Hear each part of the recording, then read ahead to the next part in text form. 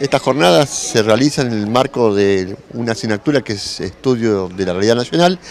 junto a algunas instituciones que se viene trabajando hace un tiempo y que justo en esta asignatura eh, se dan estas instituciones como son eh, el INTA, el Ministerio de Agricultura, de Agroindustria con la Secretaría de Agricultura Familiar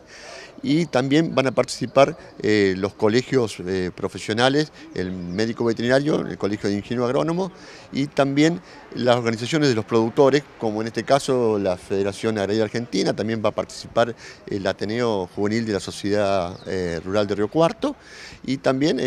la facultad a través de la representación del área de graduados de la facultad y la Universitaria. Esta jornada, eh, este año, eh, a partir de diciembre hubo algunos cambios eh, en el escenario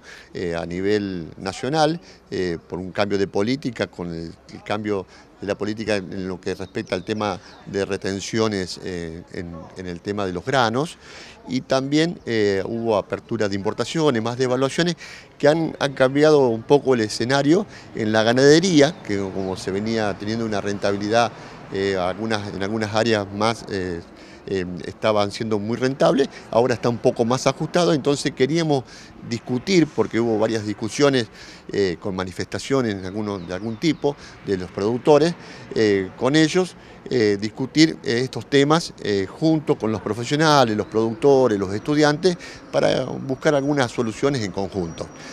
Nosotros creemos que es muy importante discutir esta temática. Nosotros acá en el departamento de Río Cuarto eh, estamos en un lugar eh, donde tenemos eh, desarrolladas estas cadenas de producción fuertemente, es decir, en el sector avícola se producen 2 millones por ciclo de aves, tenemos la presencia de más de 700 criaderos de,